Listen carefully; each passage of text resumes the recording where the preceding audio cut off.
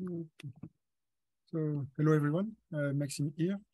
Uh, I'd like to welcome uh, Annick uh, Renevey from Clinical Genomics, Karolinska Institutet. Uh, she's going to talk about the RNA fusion pipeline, which is a pipeline I personally I like a lot because I used to work on this one. I'm still like helping out a bit, but uh, yes, definitely she's doing like way better job than I was doing at the time. Uh, so yes, thank you, Annick, for that already. But yes, before we start, I'd just like to quickly thank the Chan Zuckerberg Initiative for helping, uh, for helping us out and uh, organizing these uh, bite-sized talks. And uh, to all of our listeners, so you'll be able to unmute yourself at the end of the talk for questions. So, Annick, you're on. Hi, everyone. So, um, yeah, I'm Annick. I'm the main developer currently of RNA Fusion, and I will lead you through um, hopefully short um, uh, technical introduction, a little bit what is our goal with the pipeline, um, what we can get out, and and how to use it in a few um, a few um, words. So um, I will uh, start with a little bit. Hmm, interesting, yeah. Uh, our angle with the pipeline. So we are coming from um, from uh, the clinical genomics unit in Stockholm is uh, having a lot of, of links with clinical diagnostic. And um, um, we are providing analysis tools that help diagnosticians um, when they are um, reporting back to patients. So we are really part of routine uh, clinical care. And uh, clinical genomics is sitting in SciLife Lab, which is a conglomerate of um, four different universities um, uh, that, that work together so we are part of an organization that is part of an organization, etc. So hence the multiple affiliations. Um, so um, we need fusions um, in uh, because they have been detected increasingly in in many um, common cancer types, and um, they are a very valuable tool for diagnostic purposes. The first versions were developed um, during Martin Proks uh, master thesis at SciLife Lab. Um, and um, it he has been building on the work of others, and exactly Maxime has been uh, has been uh, contributing to it a lot. Um, but we have a lot of of uh, different contributors um, along the years. Um, unfortunately, it got outdated. Uh, as many scientific software do, because um, we got a lot of other things on our desk, I'm guessing, and and the uh, software got updated, the database got bases got much better, um, and and uh, all of a sudden, when uh, when we wanted to use it end of last year, um, the pipeline was effectively broken. We couldn't download the references that we needed to run, so um, there was need for some rework. Um, so that's when I came into play, and um, so there is the now version um, uh, two. 2.00 that has been has come out already and it um, it uh, was a complete rewrite and uh, an upgrade to DSL2 syntax. Uh, it includes flexibility um, so that you can um, you can make the pipeline do more or less what you want. Um, otherwise, just open an issue and we see what we can do um, with CLI options and uh, adding visualization and uh, quality control tools. So the main goals is to detect fusion in RNA sequencing, but uh, there are many different ways, uh, different tools to, to detect fusions. So the idea is to combine the, the power of the tools available and um, to compare them. To compare them between themselves and also with databases of fusions that are already present, which can help you in, in case you're looking for a common fusion type, but can also um, if you're looking for a novel fusion, you might want to go further than just the databases. So this is just an indication. Um, it is also um, completed with visualization tools and quality con control. So the, the, the pipeline overview looks a little bit like this. So you can imagine it like a network of different subway lines. Um, you can take any of the subway lines, all of them, or just maybe Arriba, Squid, and Pizzly, and you maybe don't care about Fusion Catcher and Star Fusion, something like that. You also have a parallel line um, that um, is uh, consisting of the, the quality control And the, um, the core analysis tool which would lie here, whereas a fusion report, which is a tool developed by Martin um, that basically takes all of the, the fusion detected by the five different um, subway lines, put them together and check, okay, is this fusion um, identified by this tool and is present in this database? And then once, once we have looked at this, we take every fusion that has been identified by two tools or more, and we look again in more in detail into it with Fusion Inspector, collect that statistics, etc. So um, here is um, the, how the output of Fusion report looks like. Um, you can see that it has an interesting dashboard um, where you have all the tools, known and versus unknown uh, um, Fusion databases, and by how many tools um, for Fusion detected. So here we can already see a little bit that Pizzly, in our case, was very sensitive so it, it, um, it detected many fusion. Now I'm gonna try to do um, a um, interactive demo. Let's see how it works um, because this is also the, the table here is very, very nice um, to look at it a, at a little bit more in detail. Do you see the, um, the um, browser? Uh, yes, no problem. All right, good. So you can see that um, here I can highlight how many um, fusions were identified with Pizzly. And if I hide the fusions um, identified by Pizzly, I can have a look which tool identified how many fusions, which is quite quite interesting. And if um, if I remove um, fusions that were detected by by one tool, probably Pizzly, then um, I have a, a bit more of a detailed um, panel here. Um, the, this this table though is um, is uh, very interesting because you can you can um, you can sort um, um, how how you want it, um, like change the orders, etc. Um, but basically, um, so this is a sample that is artificial. You will probably never see this, hopefully, in an in a natural sample. Um, but uh, this is a, um, a, sample consisting of, of 20 um, fusions. So you have um, you, you have those in the sample. Um, and as you can see, we uh, uh, they are found out by all the tools corresponding to the uh, five toolheads. And then you have a scoring function that depends on the number of tools that have found the, the fusion and also um, on the um, different databases that have found it. Um, so that's um, that's a, a, a quite um, valuable tool if you want to compare between different tools. Now, um, coming back to um, to the different results, we we can have a look at Fusion Inspector. So um, here is just one side, the HTML um, output of Fusion Inspector, but there is a lot more, and I really encourage you to run it and look for yourself um, if if there is something that can be of interest to you. If if you're interested in a special um, part of of the Fusion, there are BAM files. There are um, a lot of tables of statistics. So this is just an overview. But again, um, you can um, you can, it's an interactive table, so you can again um, look at, uh, at fusions and you have also some visualization possible in the browser, among others. So you can um, you can see some some statistics here and um, and um, a bit more about the the gene and and their position. Um, the the last visualization tool that I wanted to to show you um, now is Arriba, visualization tool. So it's only done for uh, fusions that have been identified with Arriba. And um, so you basically get a PDF file out, which one slide per fusion, and this is one fusion.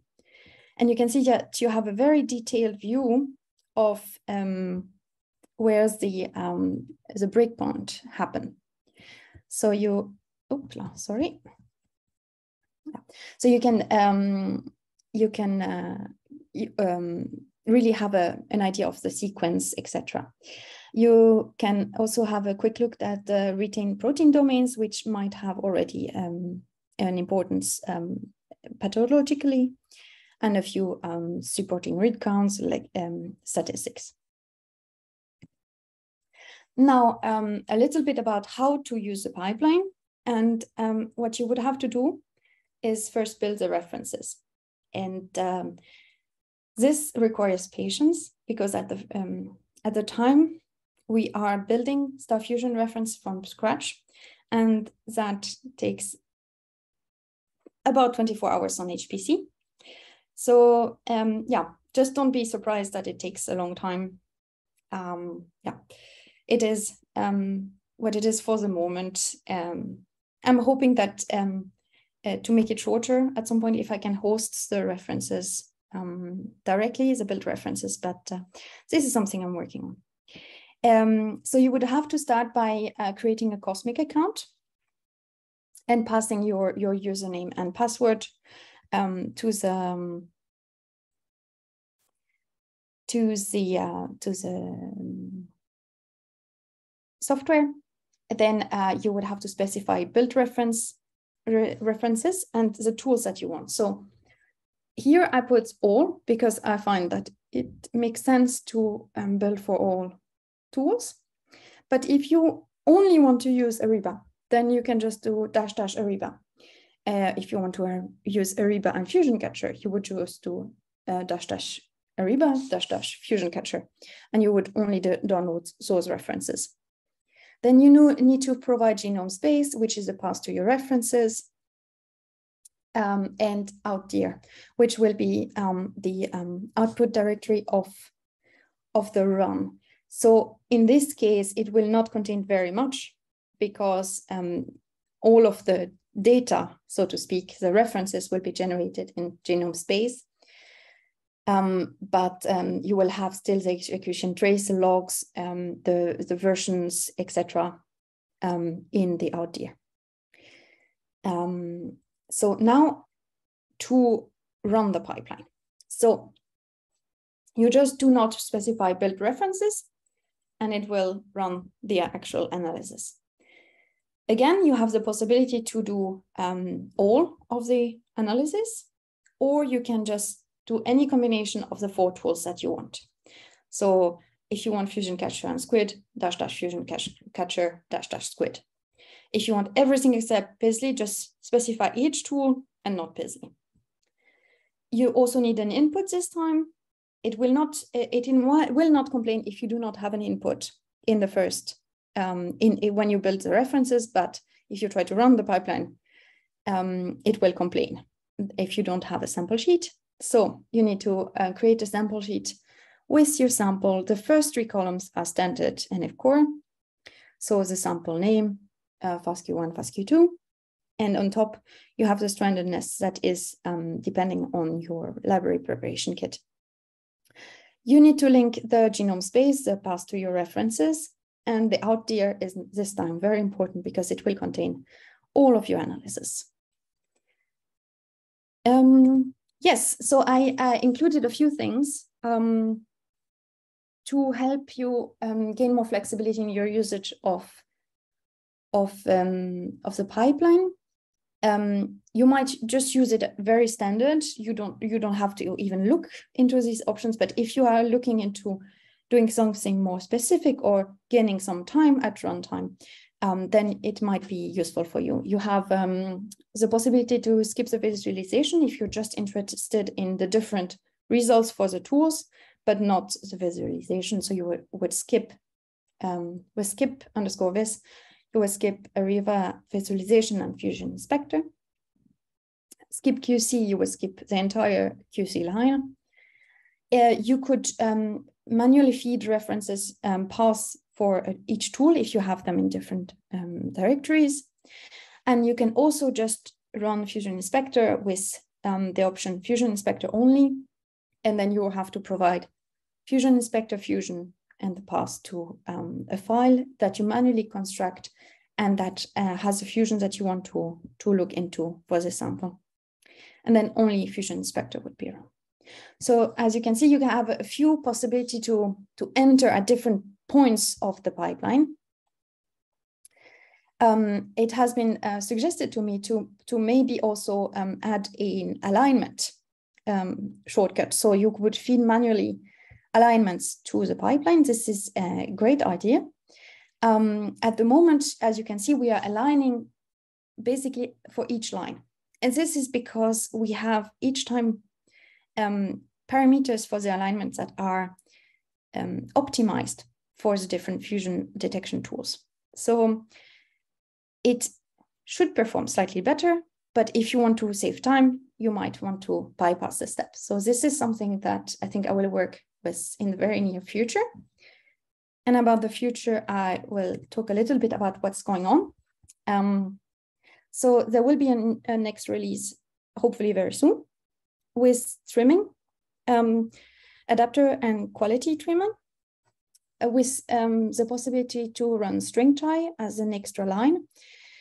And um, that will be helpful because um, there is a type of fusion that, that is not detected by any tools that is uh, implemented at the moment. And that is when you skip, um, for example, an exon it within the same gene. Um, and that um, should be resolved by using StringTie. But again, if you're not interested in this type of fusion, you could skip it completely or run just this. Um, and now I no pressure, but um, I'm, I'm really looking forward to see if we find a solution for the AWS mega test so that we can host a demo um, on um, results on the website and then you can have a look yourself um, to um, the results that, that the pipeline can, can give you. Um, on the um, in Nextflow Summit in Barcelona, I will present a bit more details, hopefully, on um, our implement implementation in production, what sort of issues we are facing, a little bit about the data. And um, I'm hoping also to release a how-to video with more details and hands-on um, um, um demonstration about each uh, command line option. Um, now, if you have any questions, um, happy to hear them now, um, or um, feel free to reach us um, out on Slack or on GitHub, open an issue, um, it's it's been great to hear about about the different experiences. Yeah, thank you for for your attention. Uh, thanks a lot, Annick. That was like uh, super good and super clear. Uh, I really like it. Uh, so now people should be able to unmute themselves if they have like any question. Uh, I think we have uh, Anne who is like wants to, to say something. No, just showing our video. Uh, Annick, I had a question. Uh, I yes, had a question. Achille, thank, thank, you for the nice talk. Um, so the visualization and everything is amazing because it, it really sort of puts these things into perspective. Um, and for a while, this pipeline sort of stood out here because we don't really have that sort of thing for for most other NF core pipelines other than maybe the MultiQC report. So it's quite nice sort of having something that's customized that you can use to organize and query the results and stuff. Um, I guess we should probably start thinking about how we do that for other pipelines as well at some point.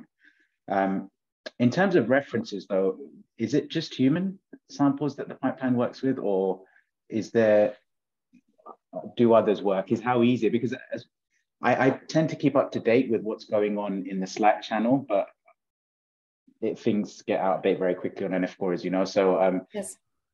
what I've always been confused about is and is is about the, the references that are out of the box compatible with the pipeline and how easy it is to create references to use with the pipeline because that's been quite a big issue recently, right? In terms of creating these references and using them. Yes, so um, I won't say it's easy, but it's possible.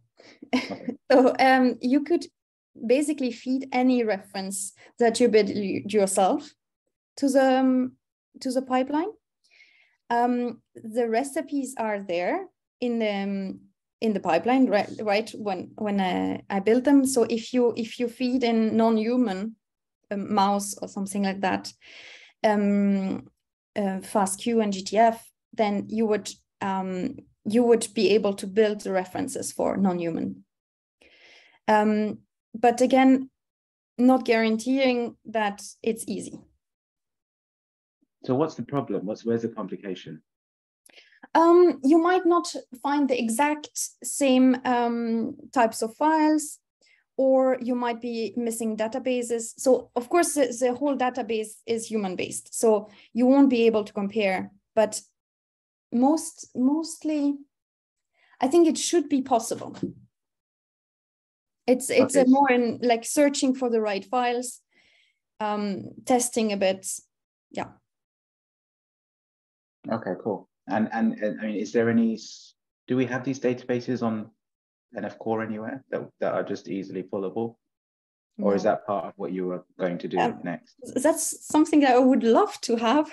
Um, yeah. and that would reduce our also our tests a lot because at the moment as i said it's 24 hours to build the references so if i could host them somewhere if you have some space shout out yeah i'm sure we could make it available um, somewhere i mean the, the, I, think, I guess the thing and slightly going off topic now but um, the aws iGenomes bucket we have on s3 has typically been used just for that and so we haven't really added any other custom files to it but um, it could be something we could maybe just push there. If it's tested and it works and we knows then we can just have an s3 path and upload it. So if you get if you get a list of assets together then um, yeah. I think maybe post in iGenomes and we yeah. can try and make it happen definitely yeah cool thanks for the talk and see you in, in at summit yes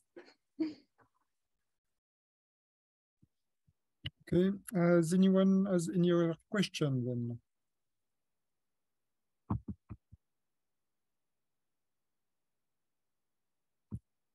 Then I guess we're good. Uh, thank you very much again, Annick. Uh, let me stop recording.